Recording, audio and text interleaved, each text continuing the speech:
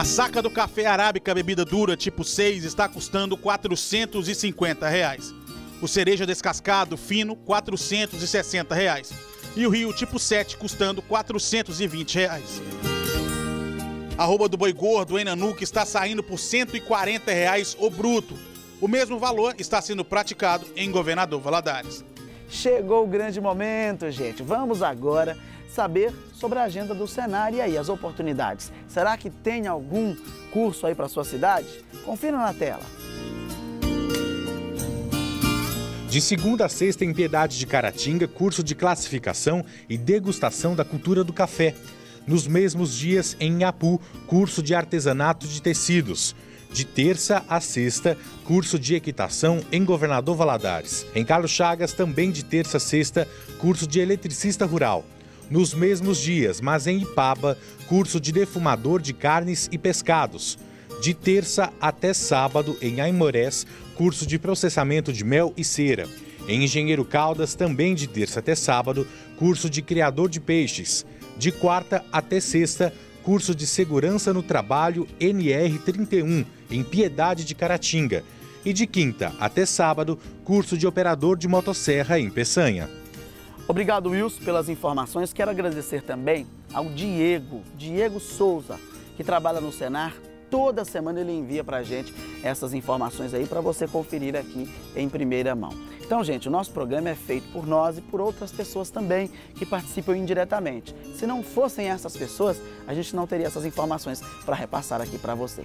Por falar em informações, se você quiser participar do nosso programa, quer enviar alguma sugestão de reportagem, você tem algo interessante aí na sua propriedade, quer mostrar aqui na tela do Alterosa Rural, manda mensagem pra gente. Nosso telefone, endereço, WhatsApp, tá tudo aqui, ó, do lado. Só mandar. Eu vou esperar um pouquinho para você pegar a caneta. Caneta não, né? Anota no celular mesmo. Vai lá, destrava o celular e anota o nosso WhatsApp que é mais fácil. Hoje em dia ninguém envia carta mais. É tudo na base do WhatsApp. Se você tiver algum problema também aí na sua zona rural, algo que envolva o campo e quer mandar para a gente, para a gente correr atrás, tentar ajudar, cobrar do, do, do poder público alguma, alguma solução para esses problemas aí da sua região, pode mandar também. Só problema rural, tá, gente? Outro tipo de problema, buraco, aí é no Alterosa em Alerta com o Nogueira e o Alessandro Santos, beleza? Mas problema na zona rural, manda pra gente que a gente vai aí fazer na sua região, beleza? Pode tirar aqui, que agora a gente chegou no momento musical. Eu diria que é o momento que eu, é o momento em que eu mais gosto. Muita gente manda mensagem, fala, ah, que bacana. Minha mãe mesmo falou comigo no último programa que não conhecia Zílio e Zalo. Foram os nossos homenageados no programa passado. E aí ela ficou impressionada porque conhecia as músicas, mas não sabia quem eram os cantores. E ficou conhecendo aqui no nosso programa. Então, hoje nós vamos homenagear Abel e Caim. Mas não são aqueles lá da Bíblia, não, tá? São os cantores. Confira na tela. Eu prometo pro Senhor não perturbar na viagem.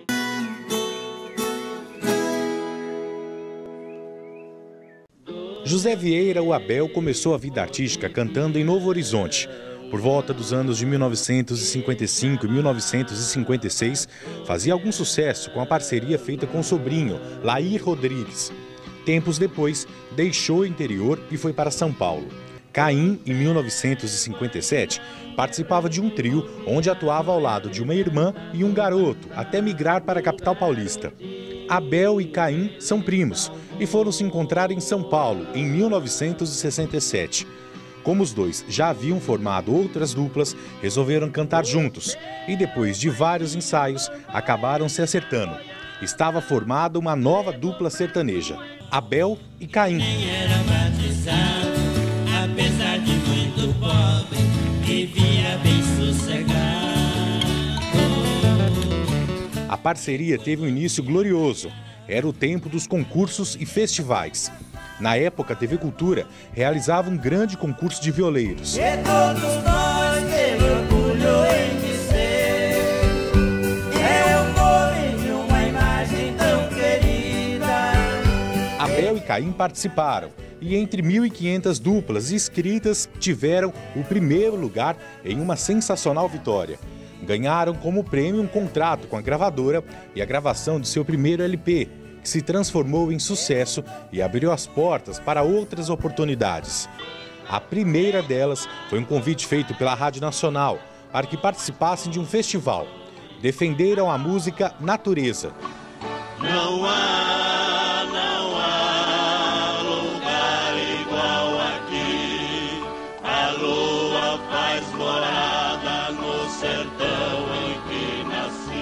Abel e Caim conquistaram terceiro lugar. Daí para frente foi só sucesso. Programas de rádio, shows por todo o Brasil e vários discos gravados, totalizando 28 LPs e 7 CDs.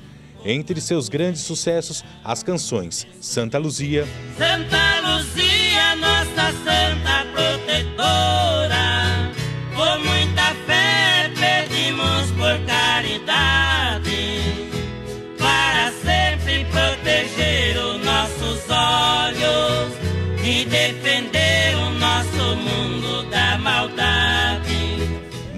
Amorosa, Pra não deixar faltar nada pros filhinhos. Ela trabalha muitas vezes sem poder. O Barco, Orquestra da Natureza, Deixe que as aves cantem Suas belas melodias. Pelos campos e florestas Chapadões e serranias. O Menino e o Cachorro,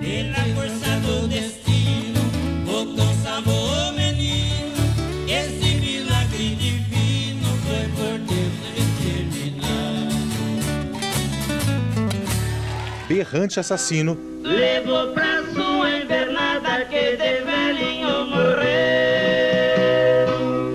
O filho moço correu o Brasil inteiro procurando o boiadeiro.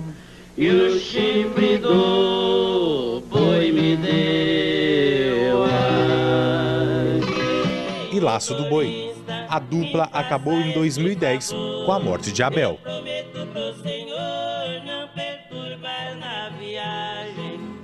Homenagem bacana, né, gente? É bom demais. Falar de música é a melhor coisa que tem, é muito bom. Melhor do que música, só conhecimento. Falar de planta, falar de, de gado é bom também, é tudo bom. O Pelosa Rural é, é bom demais. Eu tenho um encontro marcado com você às 8h30 da manhã no sábado que vem, aqui ó, na tela da TV que o Mineiro vê. Nosso programa está chegando ao fim, você confere no decorrer da nossa programação o Flash Minas e sábado que vem a gente se vê. Até lá, se Deus quiser. Fique com mais um pouquinho de Abel e Caim na tela. Mas se ele é pobre, muitas vezes tem que sofrer.